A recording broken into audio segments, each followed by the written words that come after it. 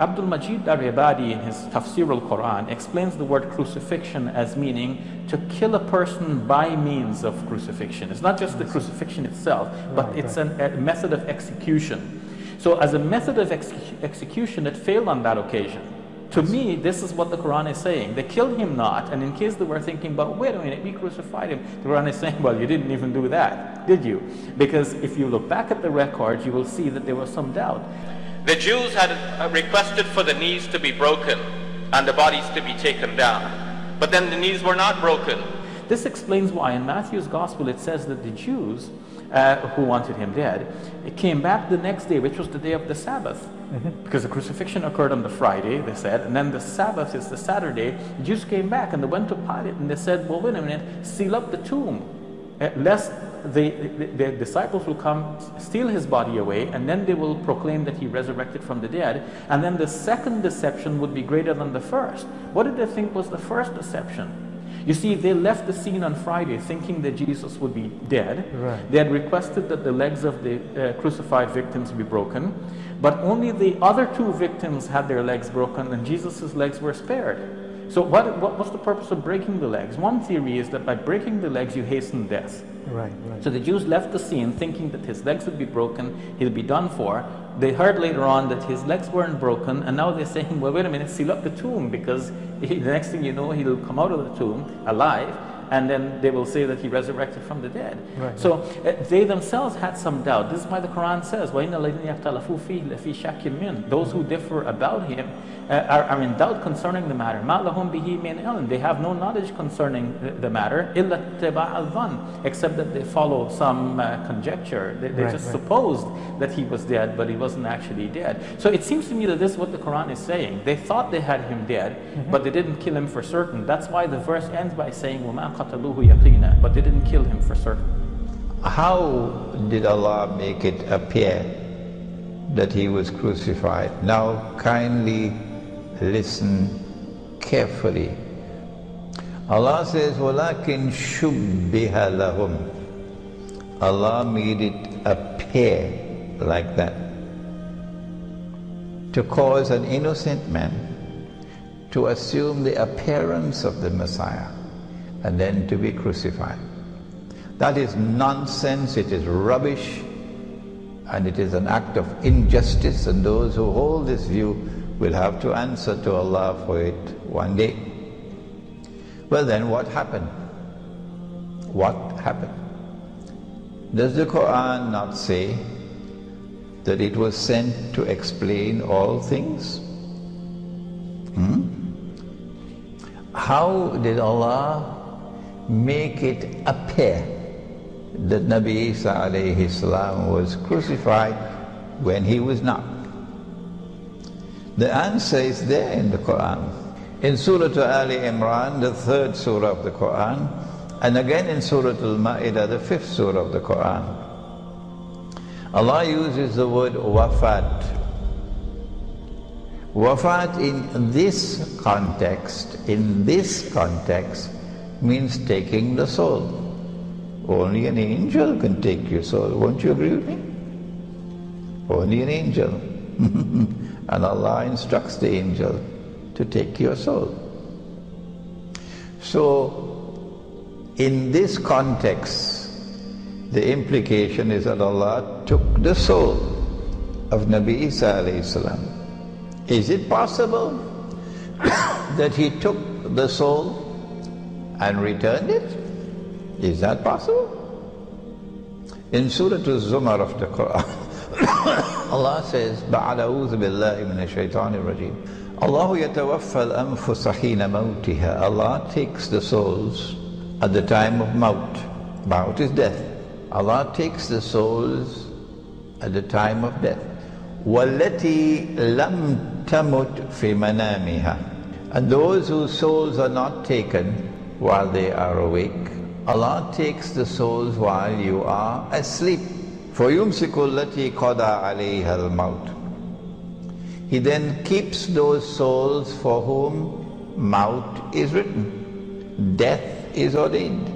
وَيُرْسِلُ الْأُخْرَى إِلَىٰ أَجَلٍ مُسَمَّى and for those for whom maut is not yet written, Allah returns the souls.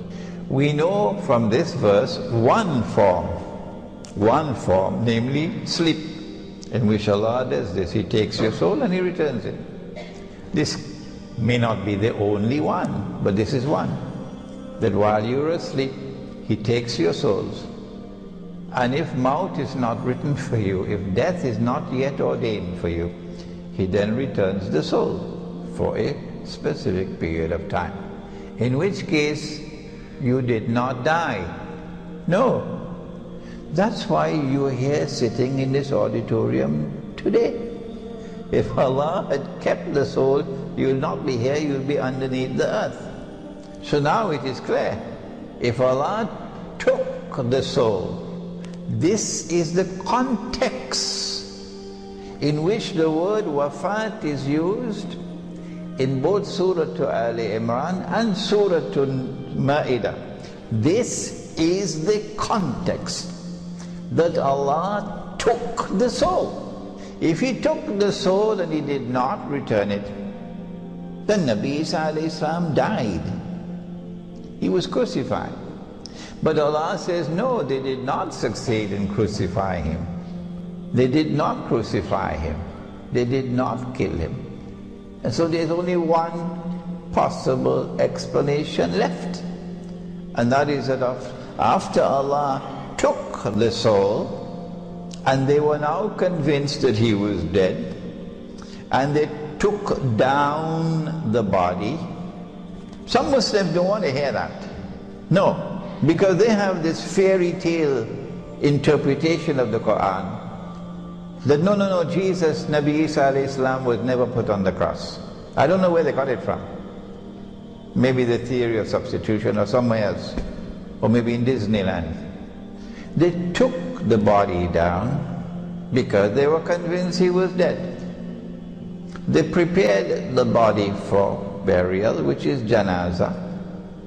And then they put the body in a cave. They sealed the cave. There's a Roman guard outside. Then Allah returned the soul. The soul has been returned to the body. So when the soul is returned to the body, you'll wake up. You'll stand up one day. I mean, why is this subject so difficult for some people to understand? So he's now alive. He never died. But if they know he's alive, they're going to come after him again. So then Allah raised him, body and soul, everything. Allah raised him the way he raised not Nabi Muhammad alayhi salatu wasalam in the Isra and Miraj, the nocturnal journey.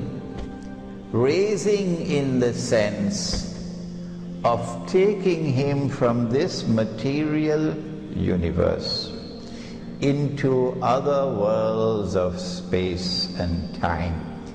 I have no other English word to use than the word raise. And I'm allowed to use the word raise because in the Quran Allah uses the same word. Bal rafa'ahu Allahu ilayh. Allah raised him unto himself. Meaning that Nabi Isa alayhi salam, the Prophet Jesus, is no longer in our world of space and time no longer in our material universe. He has now been transported into another world of space and time, or what the Quran refers to as the samawat. There are seven of them.